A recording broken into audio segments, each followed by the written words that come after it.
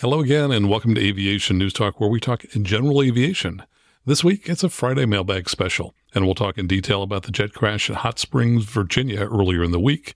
And then we'll have your listener emails discussing topics from last week, including feedback from several airline pilots on the United Flight 2477 taxiway overrun in Houston and on the 10 recent fuel related accidents we talked about. Hello, my name is Max Trescott. I've been flying for 50 years. I'm the author of several books and the 2008 National Flight Instructor of the Year. And my mission is to help you become the safest possible pilot. Last week, we talked about recent fuel related accidents and the GA aircraft in which these accidents are most likely to occur. So if you didn't hear that episode, you may want to check it out at aviationnewstalk.com slash 318. And if you're new to the show, welcome. Glad to have you here. But go ahead and take a moment right now and touch either the subscribe key or if you're using the Apple Podcast app, the follow key so that next week's episode is downloaded for free. But first, let me remind you that this is a listener supported show supported by, yes, you.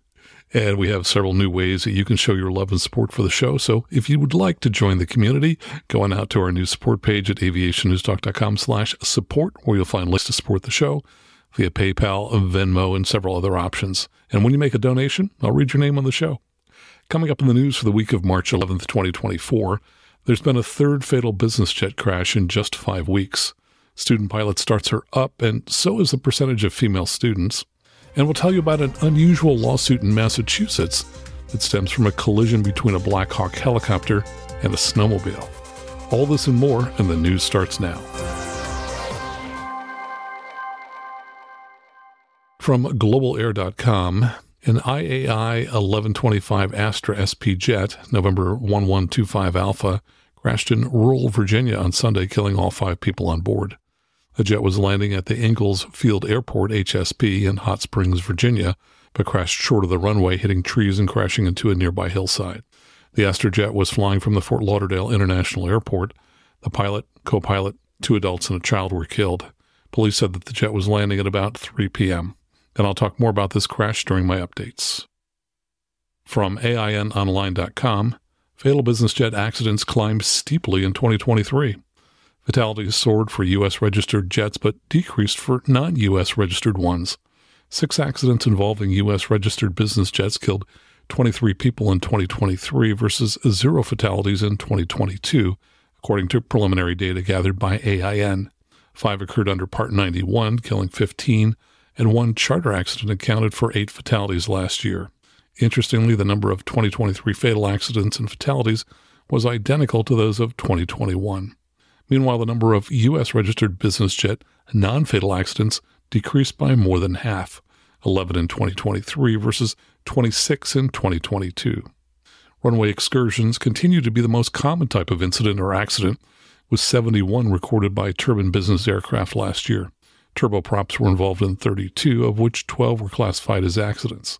Of the 39 excursions by business jets last year, 16 were classified as accidents, one of which was fatal to all four aboard.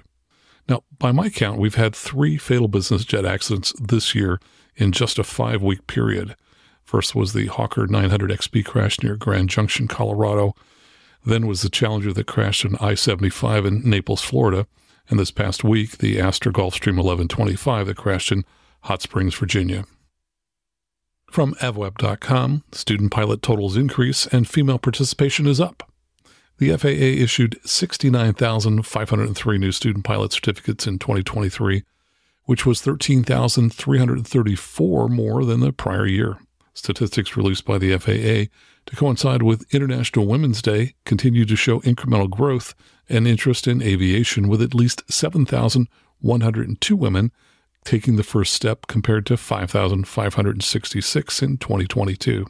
The stats also revealed that both sexes are taking it up even later in life, with the average age of all student pilots going up to 35.2 in 2023 from 35.1 in the prior year. It continues a trend that started in 2010 when the average student age was 31.4. Meanwhile, the total number of certificated pilots in the U.S. increased by 14,124 to 490,470, and 3,287 of those were women, accounting for 6.8% of the total female population. Of that total, 174,000 active ATPs were listed, up 7,375, and 9,071 female ATPs were counted, meaning that 5.2% of ATPs are women. All pilot categories showed at least some increase in numbers over the year, except for the recreational certificate.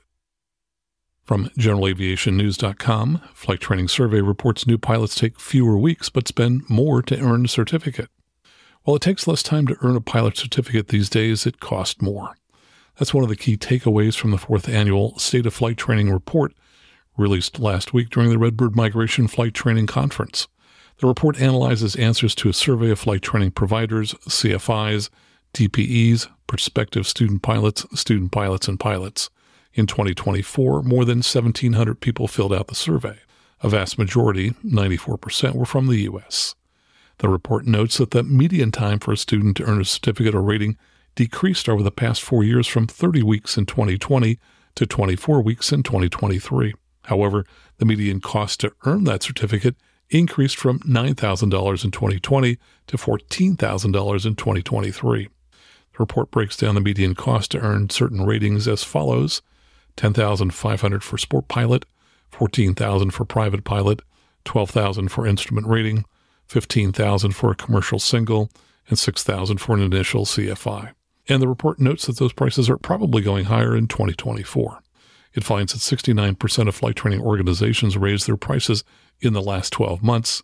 Just 14% said they haven't raised their prices and don't plan to in the next 12 months. When asked how busy was your business in 2023, flight organizations reported high levels of demand.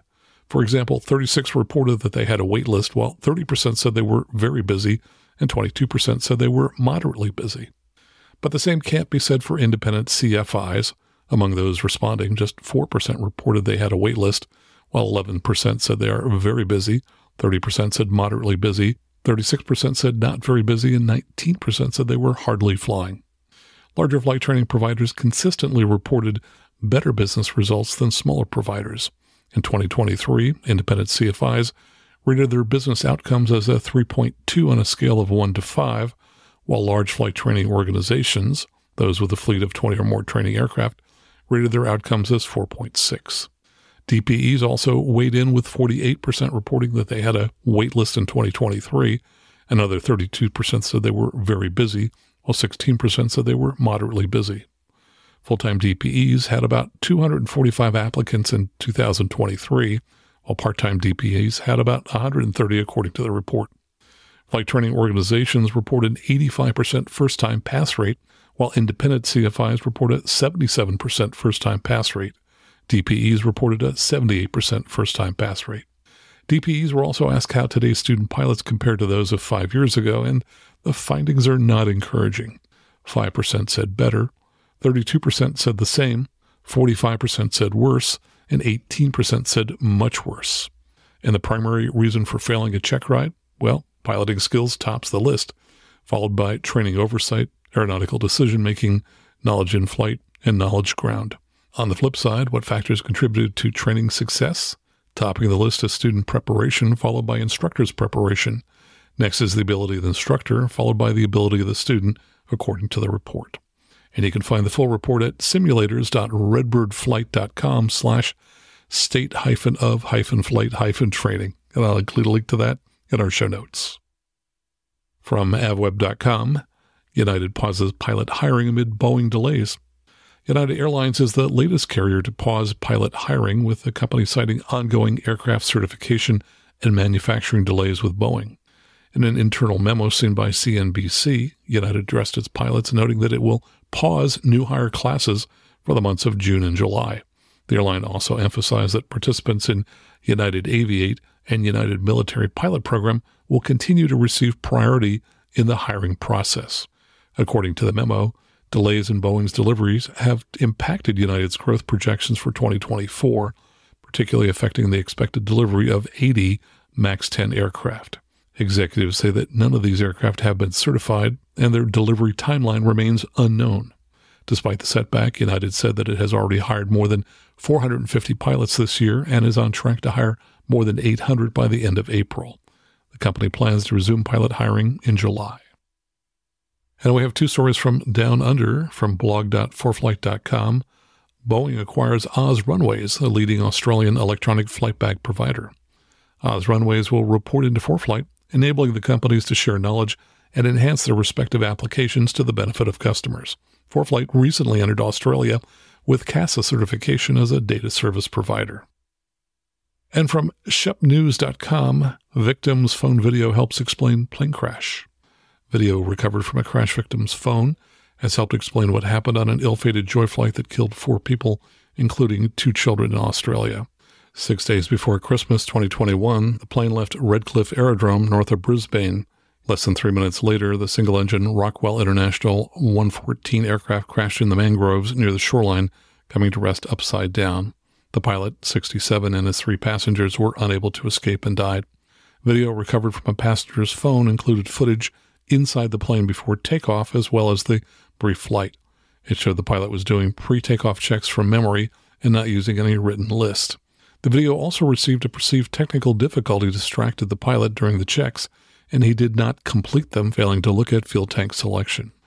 The ATSB said most of the fuel had moved to the plane's right wing tank while stored in the hangar. Less than three minutes after takeoff, the Rockwell 114 crashed. However, they said it was likely that the fuel tank selection prior to takeoff was switched to the almost empty left wing, which led to the engine stopping soon after takeoff. The engine stopped barely 90 seconds after takeoff, and the pilot attempted to return to the runway for landing. He did not maintain glide speed, and the aircraft impacted water near the shoreline. He had extended the undercarriage for landing, which the ATSB believed contributed to the aircraft inverting when it collided with two meter deep murky water. This likely resulted in occupant disorientation and added difficulty in operating the exits, reducing their ability to escape. The ATSB said the incident highlighted the need for approved, readily available written checklist and for pilots to get into the habit of restarting them from the beginning when interrupted. From InsuranceJournal.com, pilot seat blunder led to LATAM Airlines midair plunge.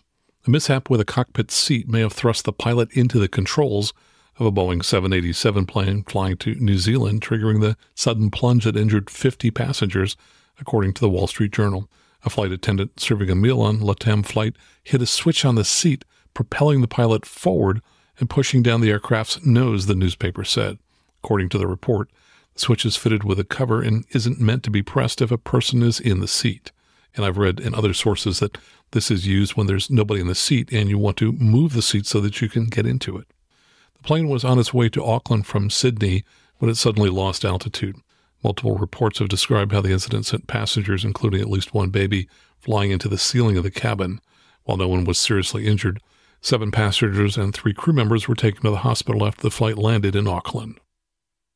And finally, from WashingtonPost.com, a man who crashed a snowmobile into a parked Black Hawk helicopter is suing the government for 9.5 million. Jeff Smith was whizzing along on a snowmobile one evening a few years back when something dark appeared in front of him. He hit his brakes, but he couldn't avoid clipping the rear tail of a Black Hawk helicopter parked on the trail. The March 2019 crash almost cost him his life and is now the subject of a federal lawsuit by the Massachusetts lawyer. He's asking for 9.5 million in damages from the government, money he says is needed to cover his medical expenses, lost wages, as well as hold the military responsible for the crash. Smith said, quote, The last five years there's been surgery, recovery, surgery, recovery. Smith lost the use of his left arm, suffered respiratory issues since the crash, and hasn't been able to work full time. His lawyers in the years long court case argue that the crew of the Blackhawk that flew down from New York's Fort Drum for night training was negligent for parking a camouflaged 64 foot aircraft on a rarely used airfield, also used by snowmobilers. Smith argues that the crew didn't do enough to protect him, including failing to warn snowmobilers of the helicopter's presence on the trail, leaving the 14,500 pound aircraft unattended for a brief time and failing to eliminate it. The helicopter landed on an airstrip approved by the FAA, and the crew members testified that trainings are often conducted in similar locations. But Smith, who said he had snowmobiled on the trail for more than a hundred times, said the last time an aircraft used it was decades ago when he was a child and never a military aircraft. His attorney, Douglas Desjardins, said, Our argument from the beginning has been that it's incompatible to have a helicopter land on an active snowmobile trail, and he added that the lawsuit was filed after the government failed to respond to their damages claim. The Army internal investigation showed pretty clearly that the crew knew that they were landing right before or right on an active snowmobile trail, he said. The government has argued that the crew wasn't told that they were landing on a snowmobile trail. They also pushed back on claims they could have prevented the accident, saying there was nothing in their policies that required illuminating the helicopter. They also attempted to cast blame on Smith for the accident, claiming he was driving his sled more than 65 miles per hour at the time of the crash. And it's a much longer article, but the key takeaway for me is that as airmen, we have to be constantly aware of our surroundings and how our actions may affect others. Coming up next, a few of my updates, and then we'll get to your feedback, all right here on the Aviation News Talk podcast.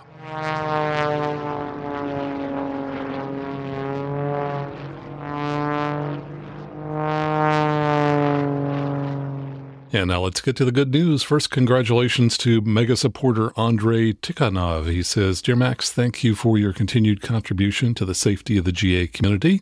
I've been listening for over a year, signed up to your podcast when I started preparing for my instrument check ride.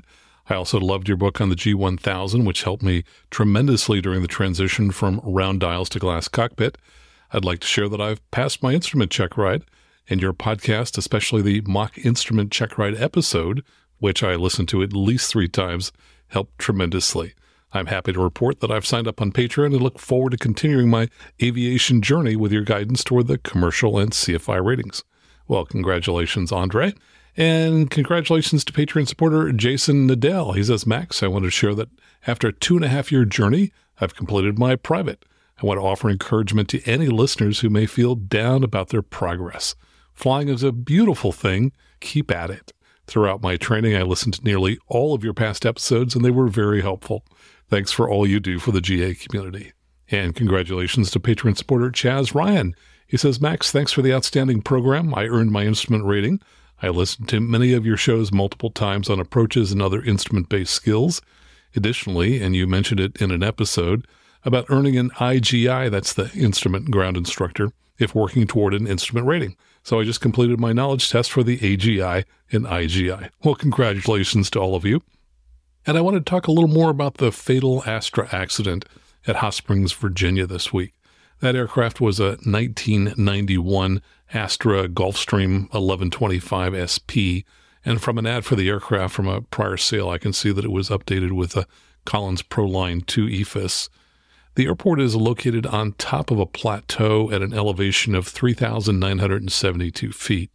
The aircraft was attempting to land on the airport's only runway, which is runway 25.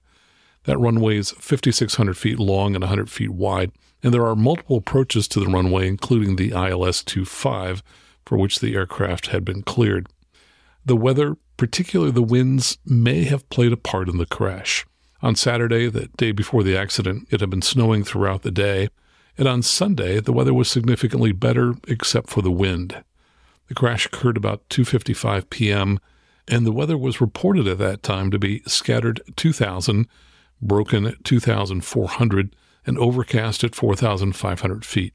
The winds were reported from the west at 19, gusting to 38 knots. Now, I believe those winds were coming in at 270, so a 20 degree crosswind from the runway. I looked at the ADSB data for the flight and loaded it into a simulator so that I could see what it looked like from the pilot's perspectives. Now, the last recorded altitude on ADSB was at 4,700 feet, about a thousand feet above the field elevation. The aircraft can be seen descending on the ILS at about a thousand feet per minute in what looked to be a very stable approach. However, what really caught my attention was the terrain. To the aircraft's right was a ridge that paralleled the aircraft's path, and perhaps more significantly, between the aircraft and the airport was a deep valley roughly perpendicular to the ridge. Since the wind was coming from the right, it would have passed over the ridge before reaching the aircraft's flight path. And since the plane was on the leeward side of the ridge, you'd expect that wind to result in a downdraft. And I would expect that downdraft increased as it dived into the valley that I could see in front of the aircraft. Now, I went into the NTSB database to see what other accidents have occurred at this airport. Three of them mentioned strong winds as being factors in those accidents. And here's a comment I found on pilotsofamerica.com. The poster wrote, I've been into HSP, which is the airport, a few times, mostly flying the ILS 25. With the winds coming from the west, they're whipping right over the ridge, causing a huge downdraft on short final. Wind was insane yesterday across most of the state. Last airport I would want to go to is HSP. Now, here's the kicker The aircraft was purchased on November 27, 2023, so about three and a half months before the accident. As I've mentioned in the past, there's a particularly high accident rate for recently purchased aircraft. And from online reports, it appears that the owner had hired two pilots, but we'll have to wait for the final NTSB report at least a year from now to find out how much time and type each of those pilots had. Now let's talk about another accident. I learned about it from a blog that you might be interested in following. It's written by my friend Sylvia Spruck Wrigley, and her blog is called Fear of Landing, which you can find at fearoflanding.com. And of course, I'll include a link to that in our show notes. Now, some 15 years ago, I got to know her when I was actively blogging at maxtrescott.com, and she and I would cross promote each other's articles. Sylvia focuses on accident analyses and has written a number of books on the subject, which you can find on her website. She wrote an article a couple weeks ago called the fatal flight instruction spiral dive technique, which really piqued my interest. So I went to the NTSB report and also downloaded the ADSB data and ran it through a simulator. Now, regarding that accident, I've mentioned in the past that I've found multiple factual errors in NTSB reports, and this one doesn't sound quite right to me. First, let me mention a couple of points that came up when I was at USC in December taking their aircraft accident investigation course. The point was made several times that a person on an accident team will sometimes hold doggedly to an idea about what caused an accident and try repeatedly to persuade the rest of the team that their idea was the cause of the accident. And often these people are wrong. So it's important for the investigator in charge to continue to investigate and gather more information and not get derailed by one person's strong convictions. And another point that was made is that investigators often get misled because they try to make the current accident fall into the same category of some previous accident that they feel was similar. So, past experience can bias a current investigation. Now, the probable cause from this accident was the flight instructor's failure to recover from a steep spiral turn during an instructional flight. And yet, the accident data from this crash doesn't look like a steep spiral turn. Steep spiral turn is a commercial maneuver, and frankly, I've never felt at risk when teaching this maneuver to clients. And here's where I think the investigators allowed themselves to get misled. The report says a review of the private pilot's logbook revealed the flight instructor had provided training for the steep spiral turn maneuver on numerous occasions during the private pilot's flight training. It also says a surveillance security video showed the airplane in a very steep spiral turn that continued until the airplane was out of view of the camera. Now, this accident was in a Cessna 172 G1000 and occurred in November 2021 in northern New Jersey, not too far from where I used to live. The report says, in part, while on an instructional flight, control of the airplane was lost during a flight maneuver, and the airplane impacted the terrain in a heavily wooded area. Data recovered from the Garmin G1000 revealed that the airplane climbed to a cruise altitude of about 6,400 feet and remained on a northwesterly heading for the first 17 minutes of the flight. The airplane's airspeed began to decrease due to an engine power reduction from 2400 RPM to 1300 RPM. The airplane began to pitch nose up, ultimately reaching a maximum pitch altitude of about 37 degrees as the airspeed slowed to 28 knots indicated. The airplane reached a left wing down bank angle of 102 degrees and a nose down pitch attitude of 79 degrees. The G 1000 recorded the airplane's descent rate at over 8,000 feet per minute three seconds later. A security video showed the airplane in a very steep spiral turn that continued until the airplane was out of view of the camera. Based on the data recovered from the G 1000, the reduction of power was intentional and the aerodynamic stall was induced.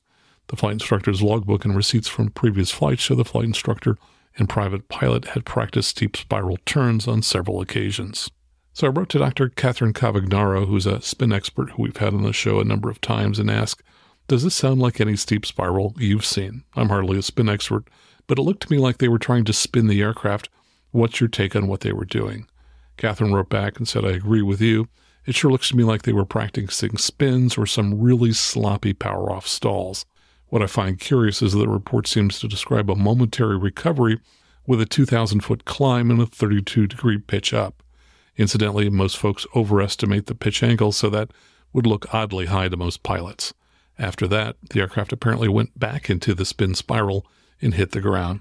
Something interesting about 172s is that you can excite a spin as apparently they did. But even with pro spin pilot inputs, the spin will turn into a spiral. So I wonder if the report discusses spirals as opposed to spins because they noted what probably became high airspeed values during the maneuver. Again, it would be interesting to see the data set from the aircraft. So, certainly the strong pitch up at the beginning of the maneuver is nothing like any steep spiral I've ever seen, where essentially the first thing you do is reduce power, lower the nose as opposed to raise the nose and go into a bank. So, even though this aircraft may have ended up in a spiral, it's almost certain the accident sequence did start with an attempt to perform the commercial maneuver, a steep spiral. I guess one recommendation I'd have for the NTSB is that they might considering hiring more CFIs or even consulting with a CFI when analyzing data to try to figure out the maneuver being performed. And of course, this is a listener supported show, so I'd like to take a moment to invite you to come join the Aviation News Talk community. If you've been listening for a while and indeed this is one of your favorite shows, well, please help support the show. And if you're looking for some rationale for doing that, think about what you might pay a flight instructor for their time to spend an hour with you helping you become a more proficient pilot. And we've made it so much easier for you to join the community to support the show. All you need to do is go out to aviationnewstalk.com slash support, and you'll find five different options that you can use to send a donation to the show. Now, see if you know any of these people, and most of them are actually from two weeks ago because I forgot to read a number of them last week. Thanks first to Arturo Guerrera, who's back with us as a mega supporter. Those are the folks that donate $50 a month via Patreon. Also, thanks to new Patreon supporter John Stencil. And we also have a number of new PayPal supporters. They include Daniel Kelly, Barry Harper, who's a repeat donor, John Waters, Michael Maselli, Alex Lunny, and Mark Killian. Thanks so much for your support. Coming up next, your listener emails, including a number of comments about the United Flight 2477 aircraft that went off the taxiway into the grass at Houston last week. All right here on the Aviation News Talk podcast.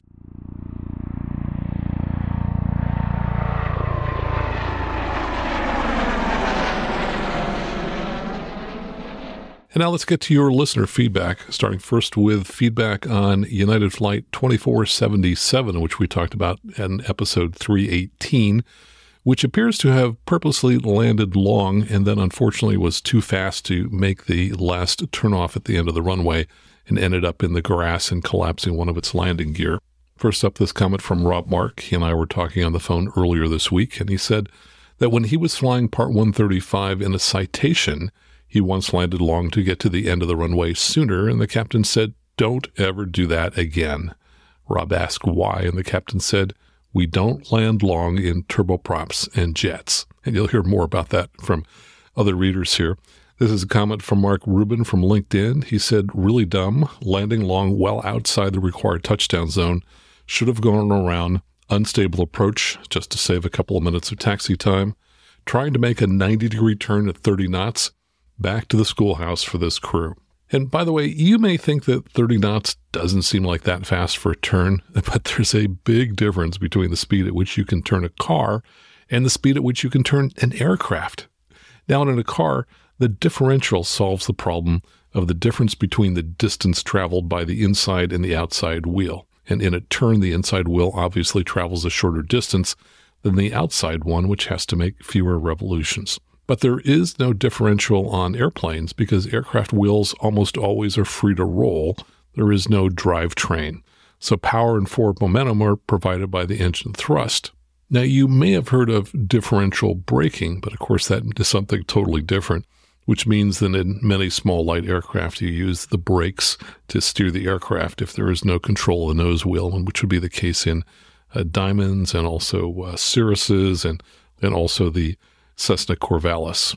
So you do have to be much slower in an aircraft to make it turn. And what I've learned from your feedback is that most airlines require their pilots to be at 10 knots or less for a 90 degree turn. Now, listener Alex Lunny wrote to me and said, regarding the 737 runway excursion, I couldn't help think about this tweet. And he said a tweet which was from a Delta pilot, and he included a picture of what had been posted by uh, at 876 pilot Marion, wrote 54 minutes early, my new domestic record, Delta Flight 455, and it says arrived 40 minutes ago. That was a flight from LaGuardia to Atlanta. And regarding that, Alex wrote, I doubt if we'll ever know if speedrunning was a factor in the United incident at Houston, but I can certainly see how it would lead to incidents like this an erosion of safety culture. He also says, Thanks for all your hard work on the podcast. It's my favorite and a can't miss. So that got my curiosity up about speedrunning. So I sent an email to an airline pilot friend and I said, Hey, is speedrunning a thing in the airline world? And I sent him a link to an article that referenced the tweet that I just read. And I wrote, It made me wonder if the United pilot at Houston might have been trying to set a record. FlightAware said that flight was running 24 minutes early when he ran the plane off into the grass. I'm thinking airline safety departments would want to discourage these kinds of social media posts bragging about speed running. And this is the reply that I got. And I'm not mentioning the airline pilot's name. He wrote, I've never heard of speed running. I certainly hope it's not a thing. And I certainly hope that too. He says, This is the reason that most airlines, except Southwest, pay the greater of the scheduled flight time or the actual flight time. If you're going to be early, there's no financial incentive to be even earlier since the pay is the same. If we're late, on the other hand, we, except for Southwest, get paid for any overblock time, and this also removes incentives to try to rush things. Now, if a pilot commutes to work, in other words, lives somewhere other than where they're based, so they have to catch a flight home, there is a powerful incentive to be early enough to be able to make that flight home. I sat in the jump seat of a 757 flown by another airline when the captain was taxing at 30 knots because he wanted to make sure he caught his flight home. And he writes, I like Brian Schiff's saying about this slow down to go fast. So true. He says at my airline, being 350 feet over the threshold or touching down 5,000 feet down the runway, which was the case with the Houston incident, would lead to a trigger in our FOQA or FOQA, the Flight Operations Quality Assurance Program, and would be flagged as an unstable approach. That would lead to a phone call to the crew to figure out what happened and possibly additional training. This is a situation that we call PINC, which means procedural intentional noncompliance, a willful decision by a pilot to make an action that is in direct contravention to our official policies. And here's feedback from uh, another airline pilot. And again, I'm not going to mention his name. He wrote, Good analysis of the 737 overrun at Houston. If your ADSB analysis is correct, there were some willful violations of SOPs or standard operating procedures, and the FAA might get involved. There is a mandatory 500 foot stable call out, and if they were over the approach end at this altitude, that's probably not stable.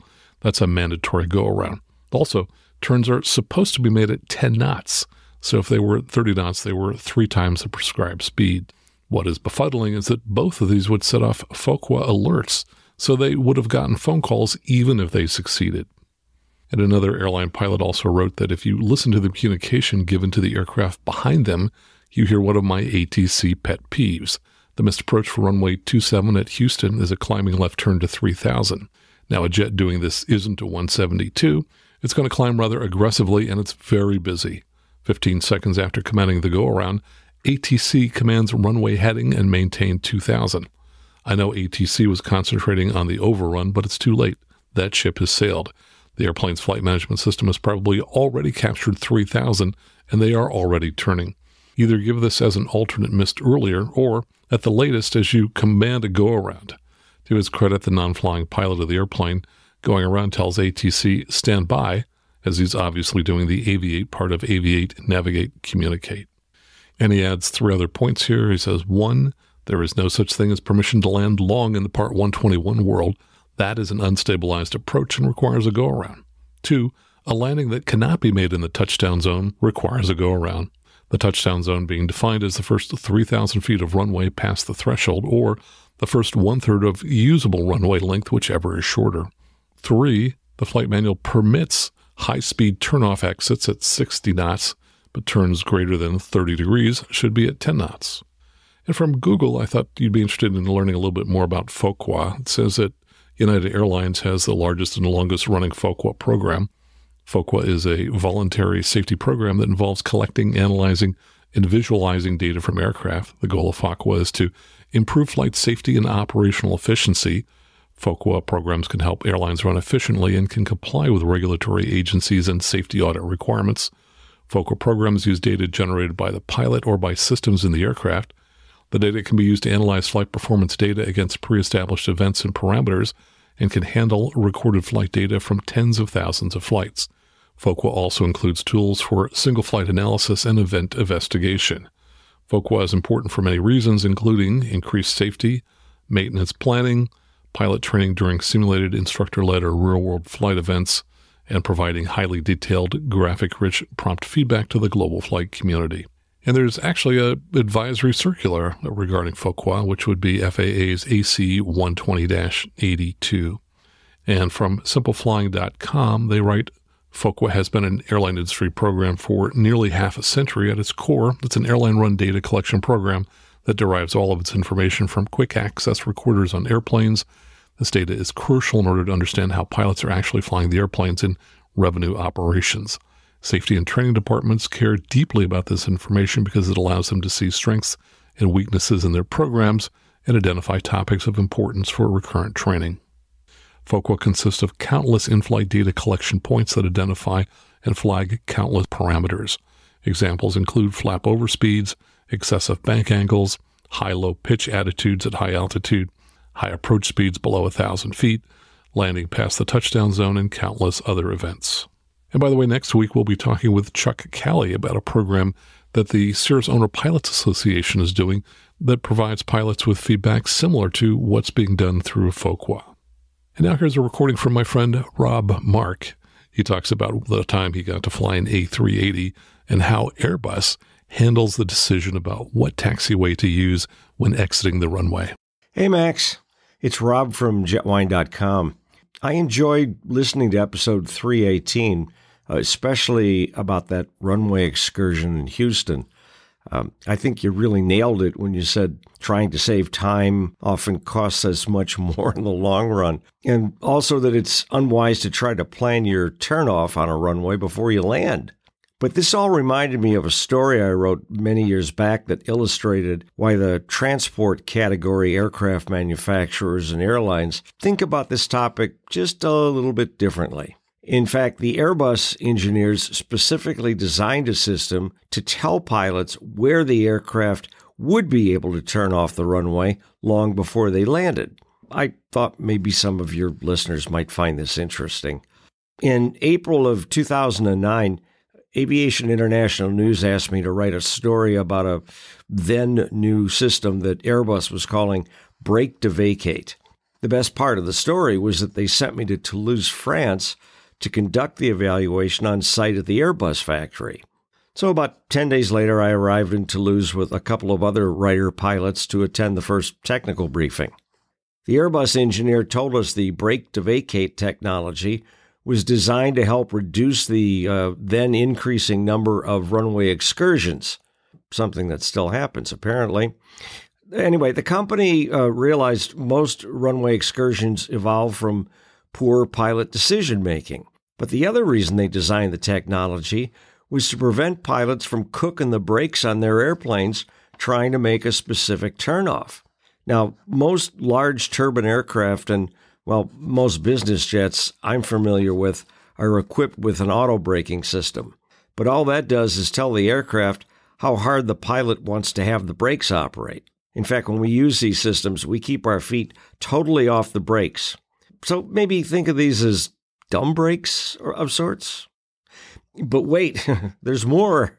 Uh, the Airbus engineers also determined this new system would increase traffic flow at busy airports because pilots would actually clear the runway at the taxiway they tell the tower they will, uh, rather than miss it and have to shove the power up to taxi down to the next one, forcing someone else to go around, uh, like what happened in Houston. The Airbus engineers also told me that system would work with the auto braking, but added a whole bunch more landing information, like the destination airport that included the runway lengths and taxiway configurations, uh, the outside air temperature, the wind, and the aircraft's landing weight. Then they told me that we'd all be heading out in the Airbus demo aircraft the next day to watch the system in action, and that we'd each have a chance to fly it from the left seat. So I got pretty jazzed about that because I had flown some large airplanes before, but I'd never flown an Airbus. Then they dropped the bomb on me. Uh, the Airbus folks told us all we'd be testing brake to vacate in their A380. so here I was in France, about to fly one of the largest airplanes in the world, and I had nobody to tell. It, it was crazy. Well, anyway, after I left the Airbus factory that afternoon, I, I realized none of my friends back in the States would ever believe I'd flown an A380. So I went into town in Toulouse and bought myself a small video camera to capture the event. I asked one of the other pilots, uh, a Lufthansa guy, I think, if he'd be my cameraman while I was in the left seat. So next morning, we all boarded the airplane, and I realized the A380s uh, was the biggest cockpit I'd ever seen. In addition to the two front seats for the pilots, there were five jump seats against the back wall. okay, okay, enough about how enamored I was with this monster airplane. I'll, I'll cut to the chase. Anyway, after takeoff, uh, Airbus uh, test pilot uh, Claude Lelaie and I finished some air work and slow flight so I could get used to the airplane. Huh. Yeah, like 40 minutes in the left seat of an A380, and I was feeling comfortable. right. Anyway, we started back to Toulouse to test the brake to vacate system on the airport's 11,493 foot runway 32 left. Claude put the data in the FMS, and uh, it told him that we could turn off at Sierra 8, the intersection about mm, 7,500 feet downfield.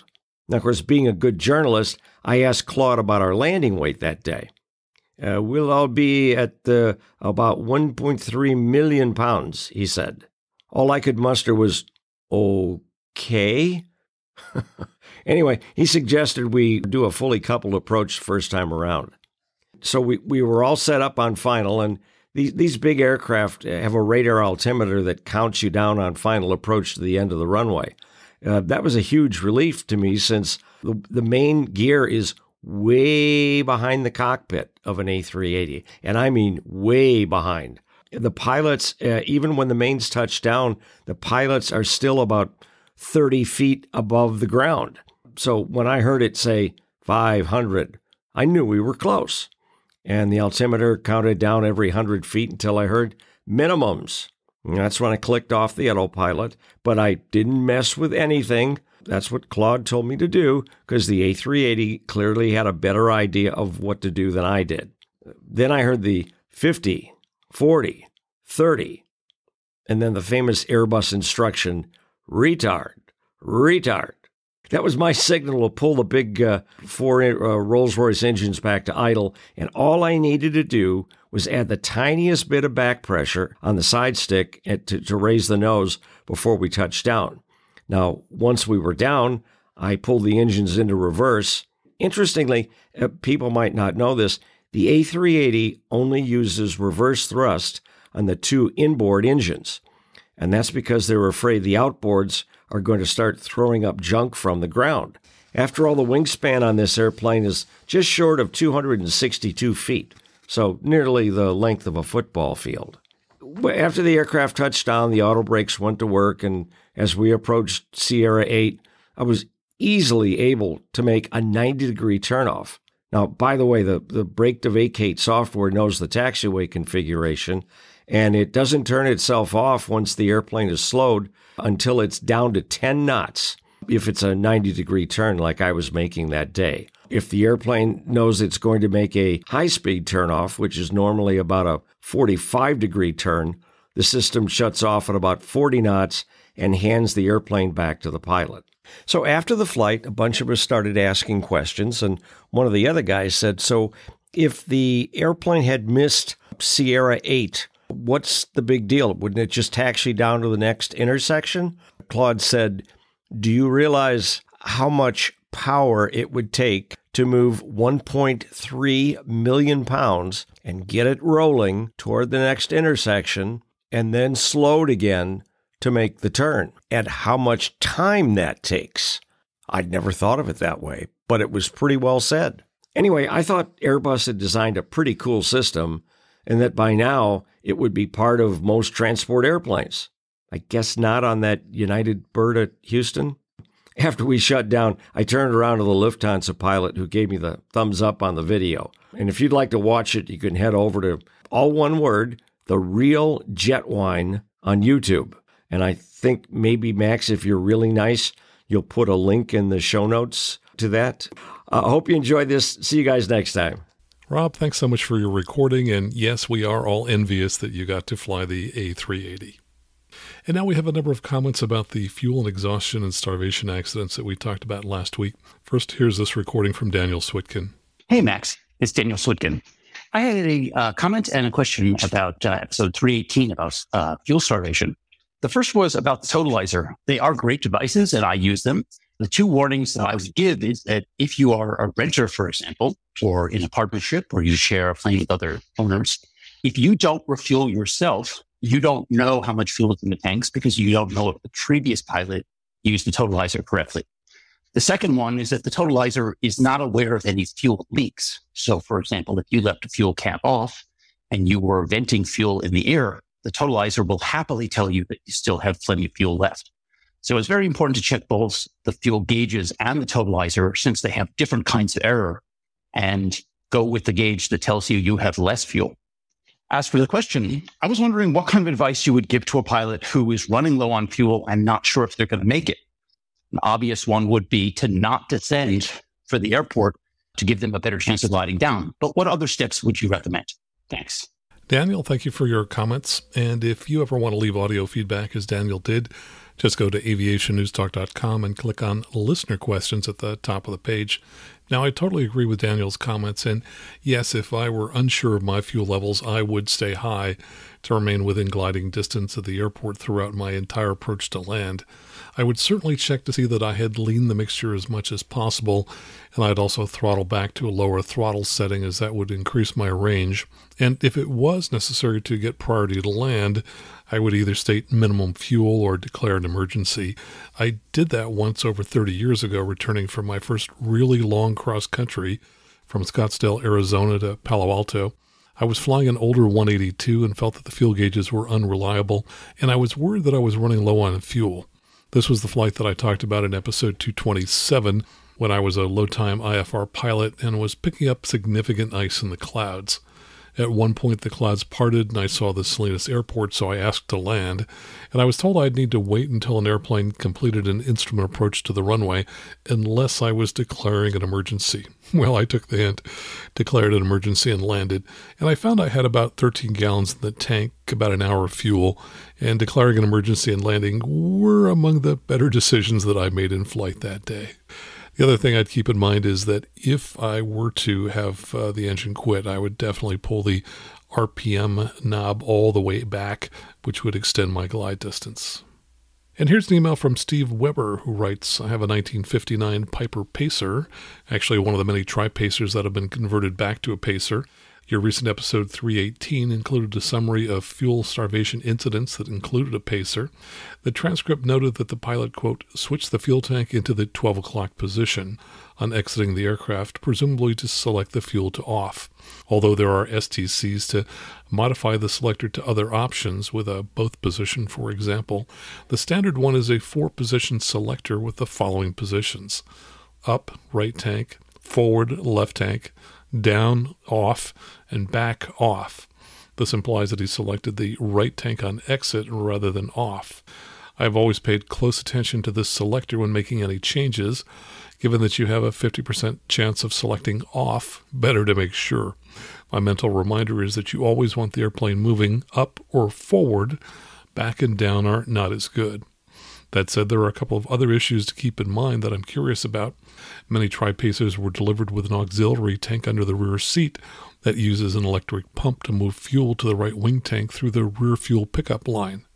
The two issues possible from this are one, the rear fuel pickup does not feed the engine. Airplanes equipped with this system are placarded for no takeoff or landing on the right tank if less than one third full. If they had right selected and pitched up to go around, they could starve the engine of fuel. The four gallons in the right tank afterward would be less than one third full. Two, there is a check valve that prevents fuel from draining out of the right wing back into the much lower auxiliary tank. If this check valve is faulty or the actuator is not fully closed, it can empty the fuel from the right wing tank. No idea if this tri-pacer had the system, but would be neat to understand that. The Pacer is generally a simple airplane, but with a relatively complicated fuel system that is worth understanding well. Keep up the good work. And here's an email from patron supporter Mike Jesh. He writes regarding the recent episode about fuel starvation exhaustion. You mentioned how important it is to know how your fuel system works, and I agree. I include a discussion of these possibilities when I do, especially high performance endorsement training. Most fuel injected engines have a fuel system that features plumbing that returns excess fuel back to a fuel tank. But which tank? Some airplanes return it to the currently selected tank, while others return it to only one tank. There are bonanzas that return only to the left tank, and there are other bonanzas that return to the selected tank. The 310 I teach in returns excess fuel to the main tank. So if you switch to the aux tank before there's enough room in the main tanks for that fuel, the fuel will instead get pumped overboard. There is a limitation that requires that the main tanks be burned for 60 to 90 minutes, depending upon the aux tank size, before switching to the auxes and crews. If that fuel gets pumped overboard because of improper tank management, that can lead to a fuel exhaustion accident. And this comes from Skip Warren via Facebook. This is regarding the Challenger that lost both engines just short of the runway at Naples.